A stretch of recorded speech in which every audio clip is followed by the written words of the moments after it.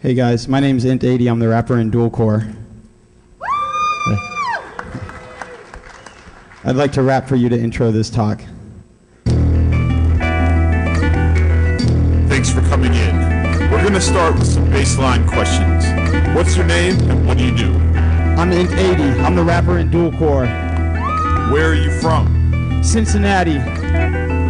And why are you here? Well, there's plenty of possibilities. Explaining my guest appearance, investigating my clearance up to test my perseverance. Basically, I'm here because these feds just want to battle me. Turning my brain waves against my DIY mentality. Looking for the pattern of a hacker in the brain. Or monitoring the heart rate of a rapper in the veins. Eyes on the prize while they're mapping all the waves. These wires make me feel like I'm shackled up in chains keep pace. Try to hide a change visibly. Too fast for readings. Gotta crank the sensitivity. Heart rate, pressure, pulse, better not skip a beat. Alchemy is science, magic magical the wizardry. Show the source, let us see how they play. Or I'll just disassemble and drop a zero day. A red herring flaw, lacking reasons for the claims. Defeated in these games, so I'm seeking neon rain. Who's the best rap group in Nerdcore in the iTunes store? That's us, dual core. Who makes the best beats rocking on the boards? Produce a high score. C64. Who's the best rapper that's known to spit crazy and baby kick babies? Interrupt 80. And the number one hacker, the infamous legend who brings the Nmap Armageddon. Gregory Evans? Thanks. Thank So- you so much. That was the best introduction ever. Thank you. So without further ado, it's my pleasure, and without further laptop hacks or rage or frustration, it's my pleasure to introduce Rain and U- Urban Monkey, uh, and they're going to show you some really cool lie detector polygraph stuff. Make some noise for them, please. Whew. Thank you so much, Anity. You totally rock my world. Thank you so much. That was so awesome. And thank you guys for waiting. I apologize for the technical difficulties. Um, so, without any further ado, uh, I assume you guys all know by now that you're in uh, Build a Lie Detector, Beat a Lie Detector. Um, I'm, we are both from the Neuronumerous group. Joe Barrett couldn't make it this year, so Urban Monkey uh, took the bullet and came instead. Um, and as Int told you, this is actually my fifth year here speaking at DEF CON. So, five years. So, you, you know, some people get paper and stuff. I, I get it nerdcore. It's nerdcore uh, rap traditional for your introduction for your fifth year speech. So, but to uh, tell you the truth, I really almost didn't make it this year. Now, I know that Neuronumerous every year, there comes with the madness of pulling things off at the last minute. That is part of our charm. Uh, but truth be told, I really wasn't feeling it this year. So, for several reasons, I've become so disillusioned with the whole concept of neurohacking that I actually wanted to uh, quit it completely. So, my dear friend and fellow member Tottenkopf, who I know is here somewhere, um, she told me that the problem is I've just been pushing myself too hard lately, working on these year long projects to bring to you guys. So, um, she actually suggested to me that I take this year off. Um, and um, so, since I've accidentally ended up in the shoes of being Neuronumerous' spokesperson, it really didn't go over well with the rest of the group that I wanted to take a year off. Because how it works is we start working on our projects. As soon as I walk off this stage, we will be working on the next project. So it was really unfair to Urban Monkey and the rest of the group that I was like, I'm out. So a huge argument started with how much obligation I actually had to the group. And this caused a major rift. The infighting was crazy. Um, and the polygraph project actually ended up in the back burner for uh, many, many months while this was going on. So finally, Psychedelic Bike, who's painfully brilliant, by the way, he's a painfully brilliant man, he came up with a solution a way that I could both take a year off and still be a spokesperson for the group. And it was really simple. The idea was we would just build a robot to download my memories into, and no one would be the wiser, while the real Rain stayed home eating bonbons and having a well deserved rest. So, at what point did you figure out I was lying to you? Was there something subtle that seemed off in my story before it obviously went down the path of the improbable? Did my body language tip you off? Did I show any stress gestures? Was I blinking, swallowing too hard, fidgeting? I'm always fidgeting, so I mean. Um, did my story lack in detail? How about my vocal pitch? Was there anything off about that? Too many pauses, perhaps? Then again, how much of what I just told you was a lie? All of it? Some of it? None of it? More than three decades of uh, psychological research has shown that most individuals are horribly bad at figuring out when they're being lied to. The average person does barely any better than chance. Um, but you don't, you can't blame them because there's no universal, unique telltale sign that someone is lying to you, no matter what you've heard. Uh, but don't feel too downhearted about it. Um, even if you were a police officer, or a judge who had been trained in the art of detecting deception, the training might improve your accuracy, but it would only be a few percentage points at the most. So it shouldn't come as a surprise that detecting lies is complicated, because lies themselves are complicated things. A lie is not in the words we say, after all, or even in the lack of words. It's in the intention of the deceiver.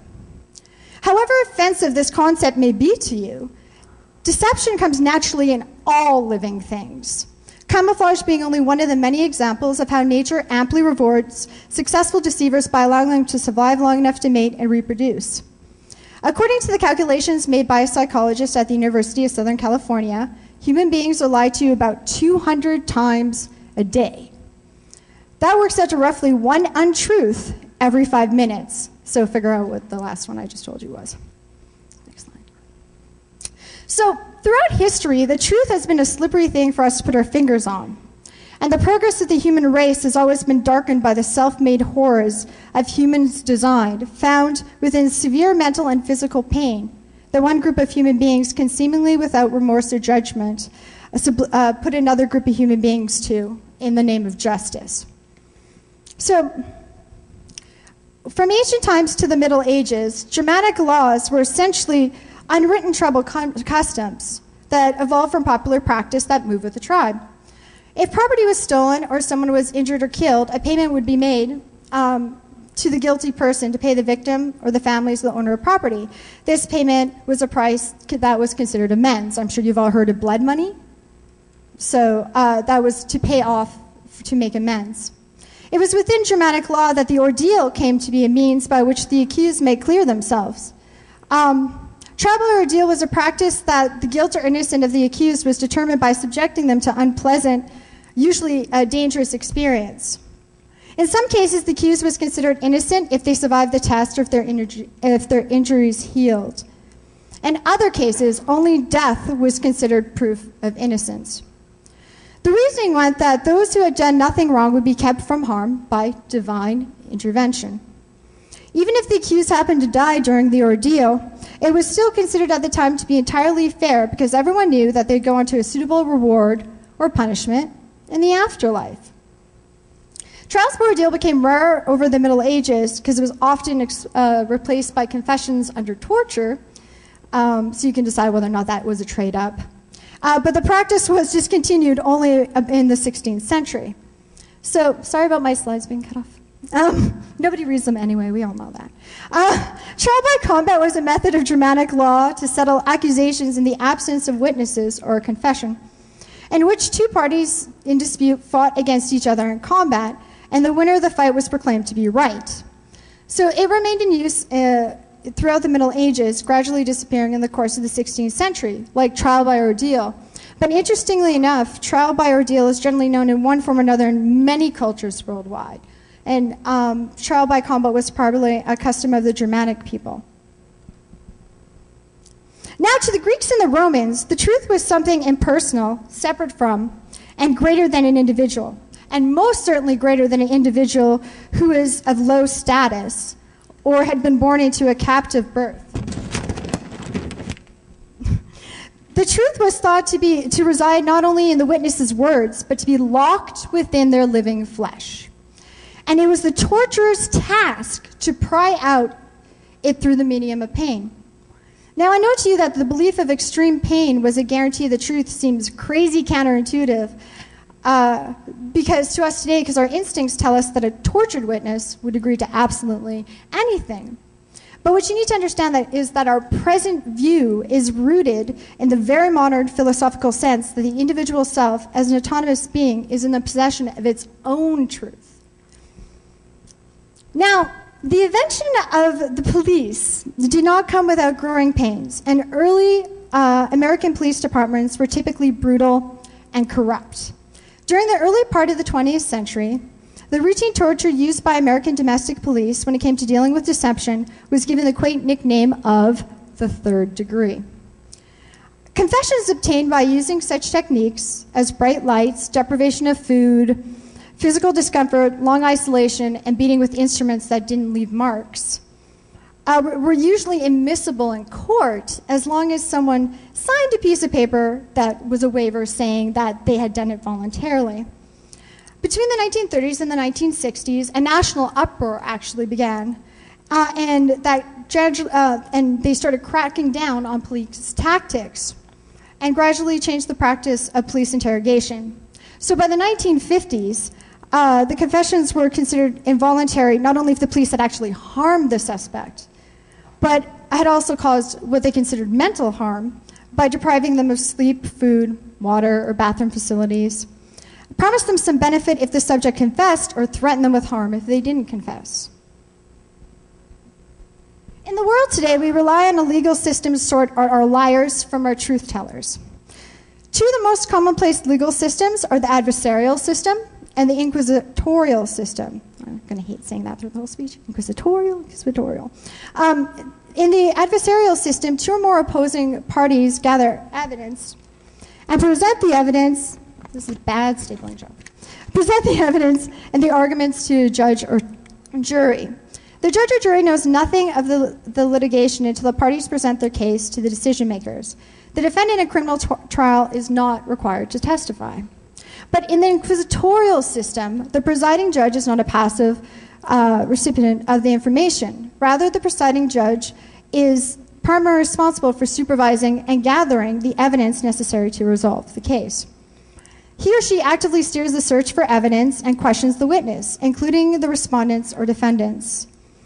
Uh, attorneys play a more passive role, and they suggest routes of inquiry for the presiding judge to follow, the judge questioning, and then they follow it with a tiny bit of questioning of their own.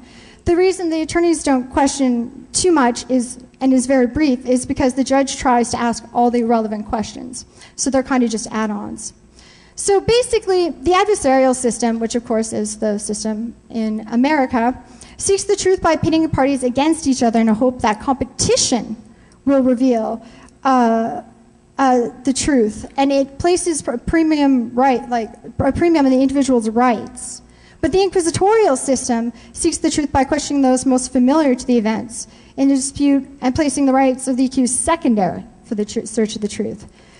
So as you can see, our efforts as a society have changed through the years in the way that we treat those that we believe to deceive us. But since the early 1900s, science has endeavored to create more human, a more human method to unravel the tells of deceivers. So, the modern polygraph as we know it was developed near the end of the 1920s uh, and would change very little over the coming decades. Its creators were not the first people to use scientific instrumentation as an aid in detecting lies uh, or monitoring blood pressure during questioning. In fact, they weren't even the first to use the word polygraph to describe the device. They were, however, the first to put it in a portable form for use in the field and the first to design and market specifically for police application. Another thing that made this particular polygraph attractive was that it could potentially replace the existing brutal third degree method, which had been brought to the public's attention through media during the first couple decades of the 1900s. Such bad publicity had been putting a great deal of public pressure on police departments. Initially, the polygraph was limited to a small number of police departments, but its use slowly spread along with its reputation there was little attention focused on the polygraph by the general media in the 1920s, though a few articles published were almost always positive. During the 1930s, use of the lie detector began to slowly move into other areas of use, with a ghoulish example being its use on death row inmates uh, being given exams as a consideration uh, when determining a stay of execution. Um, The use of the machine, though, was still mainly limited to